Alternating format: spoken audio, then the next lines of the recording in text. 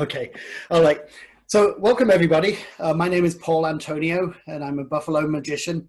And because of the COVID 19 experience that we're all experiencing around the world, um, like most businesses, I'm not able to perform live at birthday parties because nobody's allowed to gather in groups. And so I came up with an idea that I would do magic shows completely free of charge um, all around the world. And I've done some in the UK, um, mainly here in America. So, um, so Miles, you're going to be um, able to enjoy the magic with your friends, and hopefully we can make it as much of a party as possible with you. Okay, that's the that's the goal. Um, and if you can keep your mic off the whole time if you want, okay with that. Okay, or keep your mic on rather, so I can talk to you and I can hear you.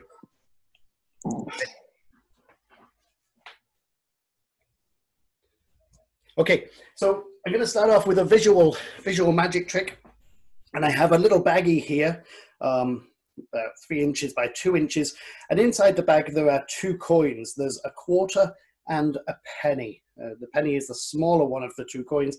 The quarter is, of course, the bigger one of the two coins.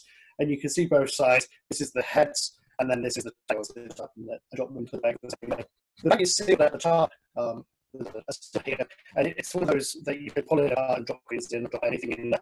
But we're going to try and do some magic. I want you to watch the coins very carefully. I've got my hand in my hand. Here we go. Watch carefully. One, two, three.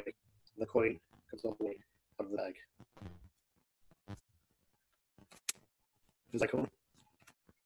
There is, of course, no hole in the bag because if there was a hole in the bag, then the penny would fall out. Can get the penny to move along. See if we can move it to the other side. That's where the quarter was. And it doesn't fall out because the hole back and forth.